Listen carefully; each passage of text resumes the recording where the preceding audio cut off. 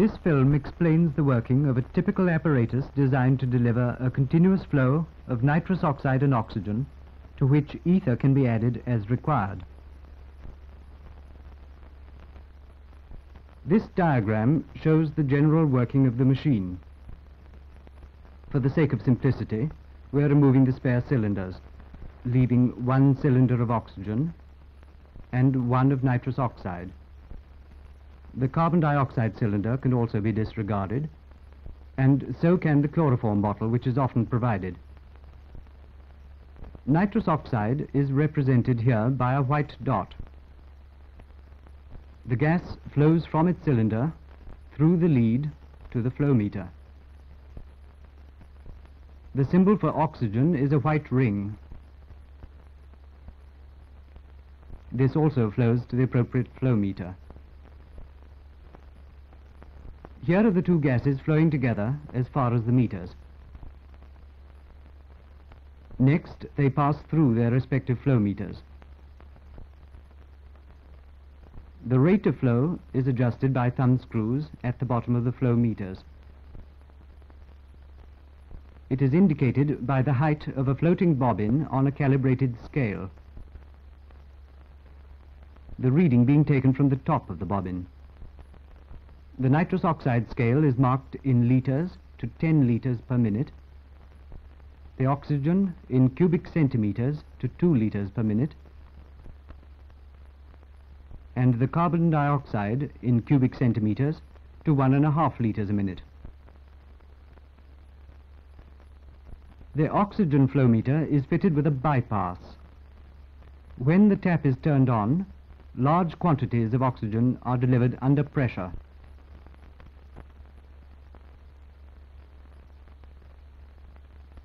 After passing through the flow meters, the nitrous oxide and oxygen mix. Flow past the ether bottle, past the rebreathing bag, through the corrugated rubber hose to the face mask.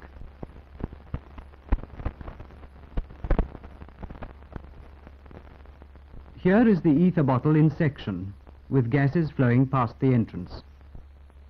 This arrow shows the direction of the gases. When ether is needed, the gases are diverted into the bottle where they pick up ether vapor and carry it with them. A tap on the ether bottle controls this. Here it is turned half on. A portion of the gases continues to flow straight on.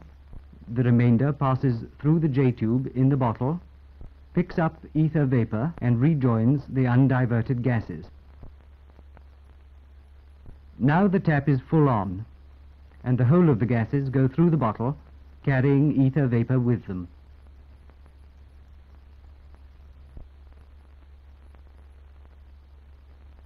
To increase the concentration of ether vapor still further, a plunger is used. It's attached to a hood which can be made to slide down over the open end of the J-tube. This forces the gases down nearer to the surface of the liquid ether so that more is vaporized. When the plunger is right down, the gases bubble through the ether and the concentration of ether vapor is at a maximum.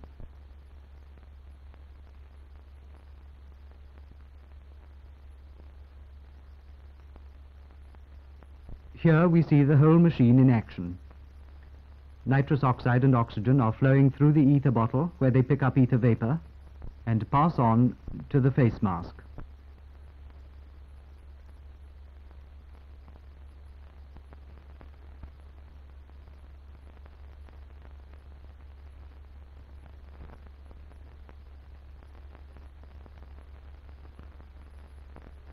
Before you start to give the anesthetic, you must check the whole apparatus.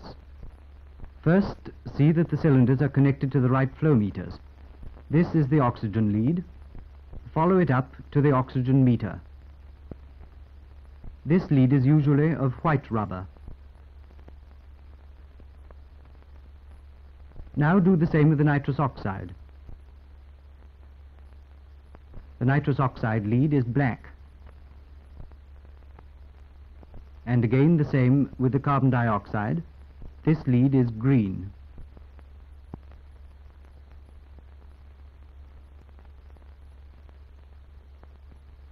Now make sure that the cylinders are full. Don't trust the labels. The oxygen is in gaseous form, so the cylinder is supplied with a pressure gauge, which indicates the contents. Before opening the cylinder, turn on the bypass tap to avoid any sudden strain on the pressure gauge. Turn the full or reserve cylinder key and read the pressure gauge. This confirms that the cylinder is full. Turn off the bypass tap and test the flow meter. Now turn off the cylinder.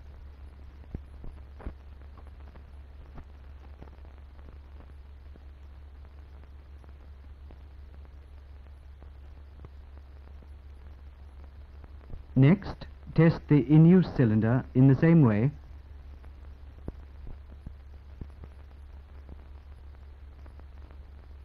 and leave it turned on.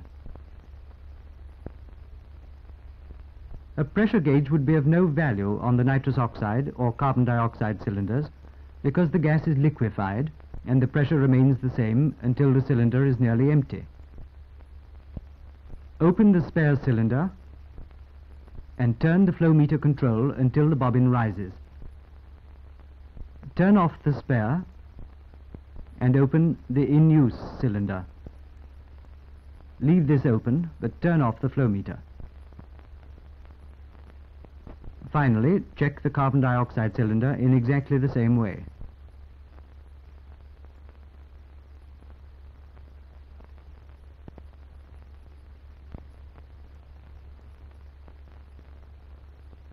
Ether decomposes in sunlight and in the presence of oxygen into poisonous aldehydes and peroxides, and it may become contaminated with chloroform if this has been used in the other bottle.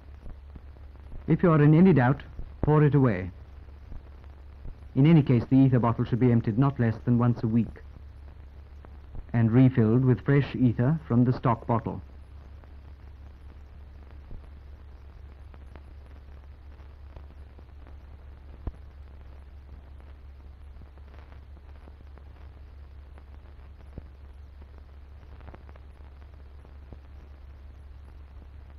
The bottle is surrounded by a can into which warm water may be poured. The water should be not hotter than 90 degrees Fahrenheit or the ether may boil. As ether is vaporized, it cools and the concentration of vapor falls. This water jacket delays cooling. Now assemble the corrugated rubber hose, expiratory valve and angle piece. Slip the harness ring over the face mask and fit the mask into position. Then adjust the tension of the expiratory valve. Lastly, you should see that the rubber harness is at hand for use later on.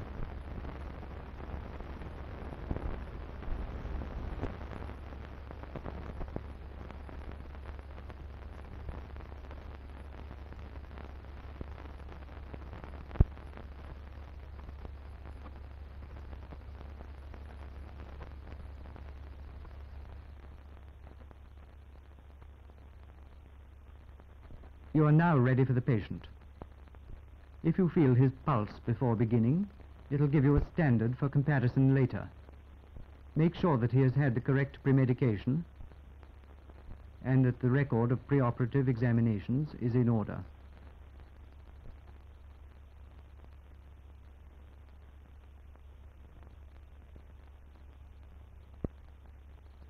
Examine his teeth and see if there's any obstruction to nasal breathing.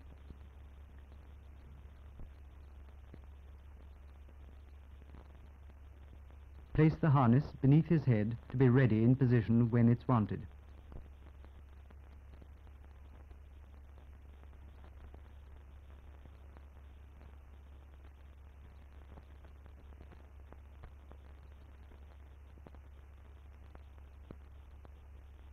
Turn the nitrous oxide on to a flow of 10 litres a minute. Next, clear the J-tube of any liquid ether.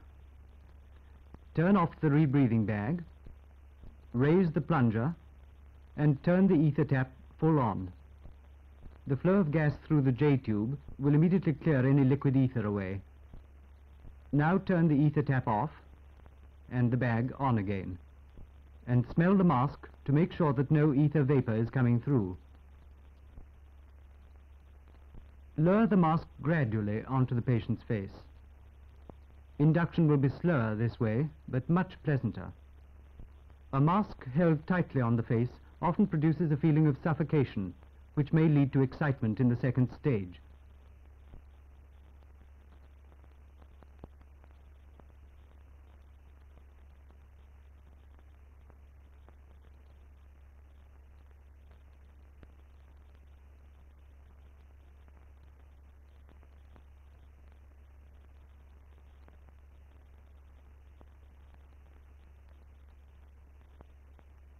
As the mask touches the face, the rebreathing bag gradually fills.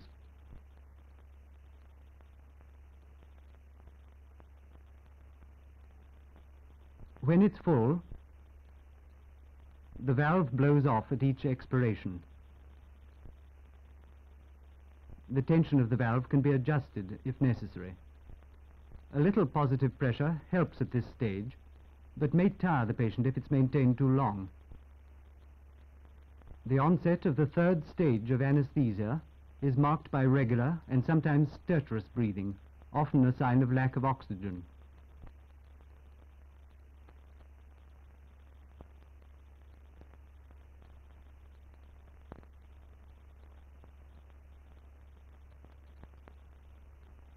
Now turn the oxygen on to one litre per minute. Provided the airway is clear, this will be sufficient for the five minutes or so until the ether has been brought in. Keep the chin well up, and if you put your hand on the patient's throat, you'll be able to feel the vibration of an obstruction that may not be obvious to the ear.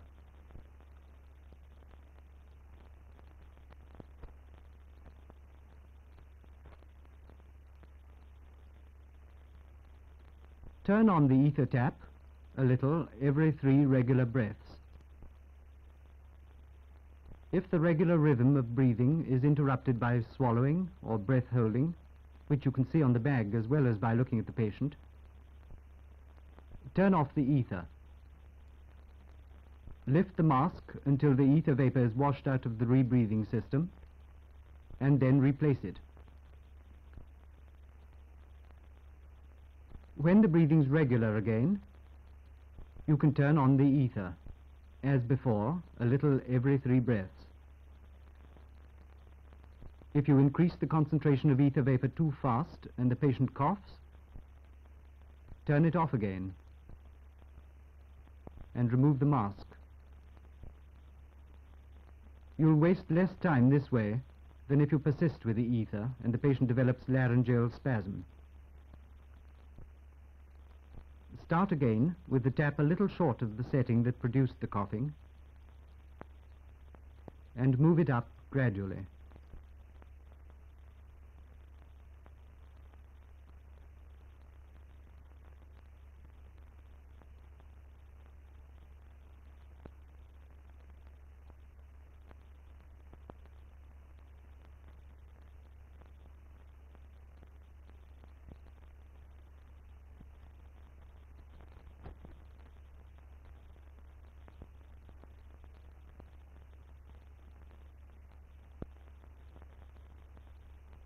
When the ether tap is full on, you can lower the flow of nitrous oxide by degrees to 5 litres a minute without risk of the patient coming up to the second stage.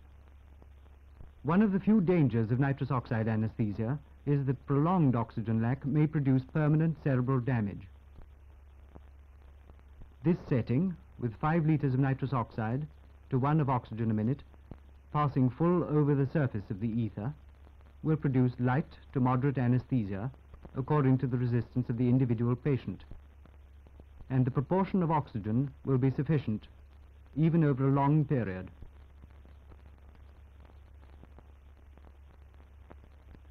The mask can now be strapped to the face by means of the harness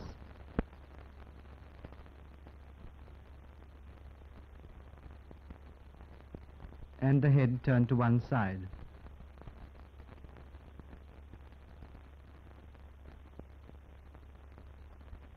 If the breathing is not quite clear,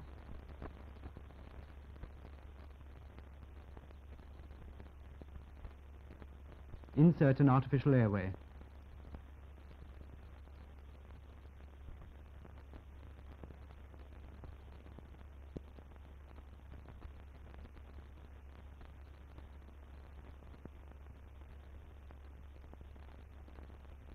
Provided the cylinders don't run short, the maintenance of anesthesia is more or less automatic, and you're free to concentrate on the patient's condition and to take blood pressure and pulse readings, a great advantage when he's seriously ill.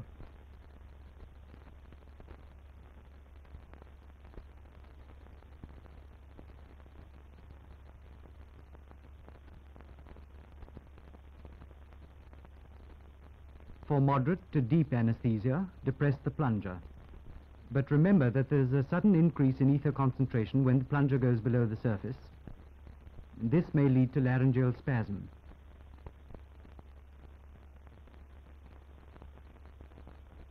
Turn off the ether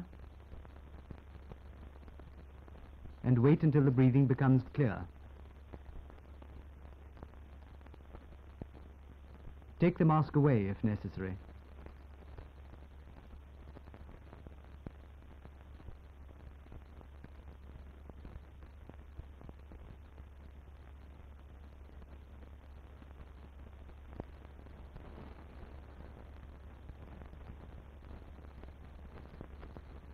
When the breathing's regular again, you can turn on the ether.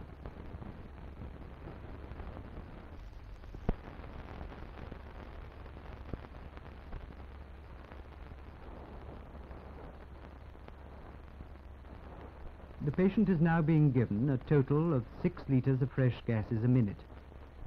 His minute volume is probably about eight litres, so that three quarters of what he breathes will be fresh gases and one quarter expired gases. This is called partial rebreathing. The rebreathing bag acts as a reservoir. To show how it works, we'll take each movement of the gases separately. The bag is filled partly by fresh gases from the machine and partly by gases from the hose blown back when the patient exhales. When it's full, the gases from the machine flow past the entrance to the bag down the hose. When the patient inhales, he draws gases from the bag in addition to the constant flow from the machine. As he exhales, the whole cycle starts again. The gases from the machine and those blown up the hose fill the bag. The flow continues down the hose when the bag is full and the patient inhales. Now let's see what happens nearer the patient. When he exhales, the gases in the hose are forced back towards the bag and the hose therefore contains fresh gases in the upper portion and expired gases in the lower portion. These expired gases contain carbon dioxide, which is represented by black dots. Once the bag is full, about halfway through expiration, the remaining exhaled gases pass out through the valve. At the same time, and during the pause before inspiration starts, fresh gases from the machine are coming down the hose, pushing still more of the exhaled gases before them through the valve. When the patient starts to breathe in, there is about one quarter of the expired gases still left in the hose, and he will inhale these together with the fresh gases from the bag. Now let's see the whole cycle again.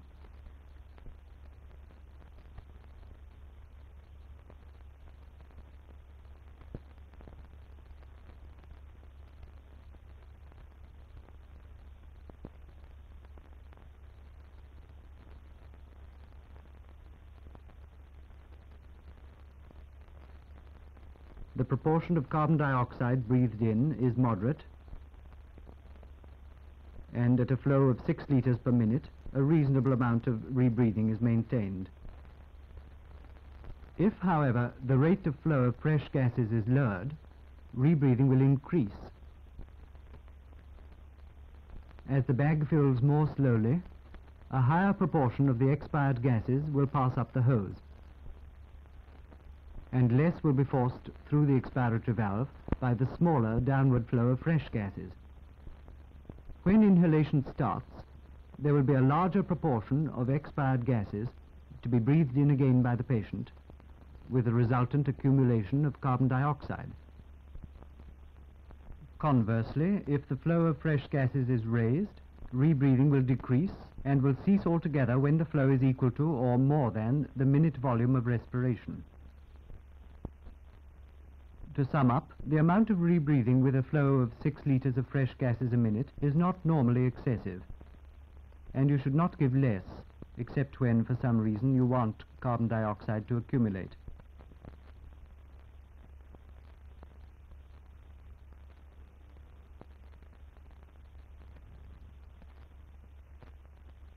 If the patient becomes at all cyanosed, for example because of shallow breathing due to excessive premedication, you must be prepared to raise the proportion of oxygen.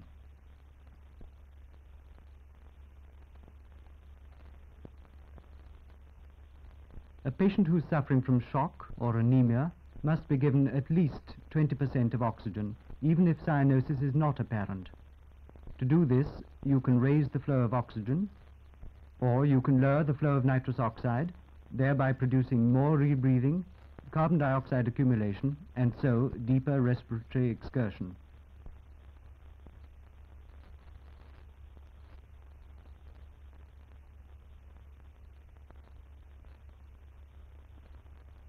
As the anesthesia progresses, the patient's tissues gradually become saturated. After about half an hour, you will find that appreciably less ether is needed from the machine to keep him at the same depth of anesthesia. The cooling of the ether in the bottle results in some falling off in concentration, but you will usually need to turn it partly off. In any case, during the last 15 minutes of most operations, the ether can be turned right off. The nitrous oxide alone will be sufficient to keep the patient from coming round, and his reflexes should return within a few minutes of the end of the operation.